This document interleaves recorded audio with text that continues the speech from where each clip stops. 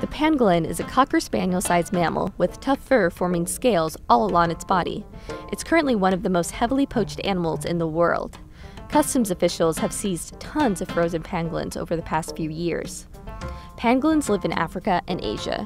In these regions, some believe the pangolin's scales have medicinal value, and its meat is considered delicacy. Researchers are looking to another greatly poached animal, the elephant, for a way to save this small, scaly creature.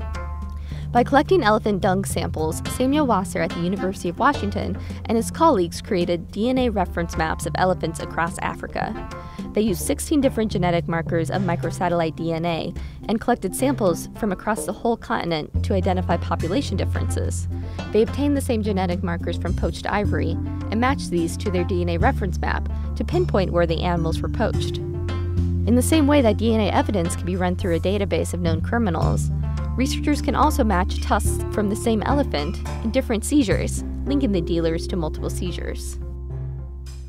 Wasser's elephant map took 15 years to create, but the pangolins don't have that much time. An added challenge pangolins aren't conspicuous social creatures like elephants. They are cryptic and solitary, making it harder to locate many small pangolins at once. In order to fast track the process, researchers are using detection dogs to sniff out pangolin dung for genotyping.